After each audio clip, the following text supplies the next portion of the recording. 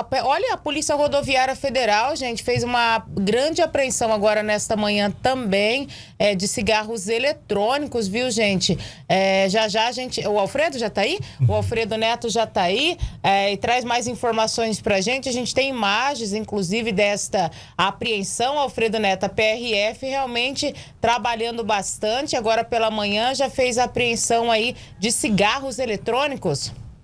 Isso mesmo, Ana.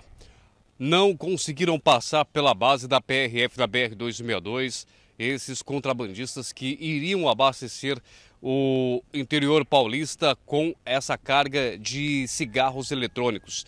Os conhecidos como Vipers.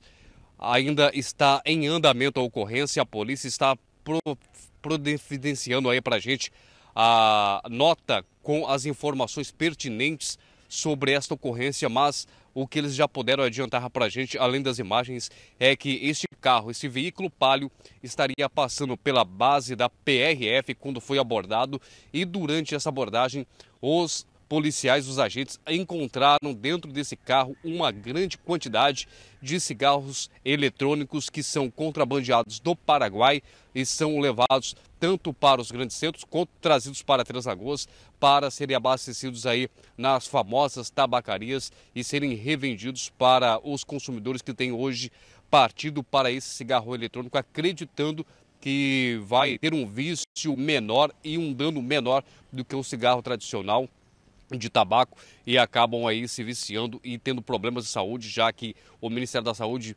tenta fazer aí uma proibição a esse produto que já é bem controverso no Brasil por conta dos malefícios que são, de, segundo a ciência, piores do que o próprio cigarro, o cigarro, o cigarro feito de tabaco. E a gente vai acompanhando ali assim que a PRF emitir essa nota. A gente ainda no RCN Notícias, se possível, a gente atualiza quem está nos acompanhando, Ana.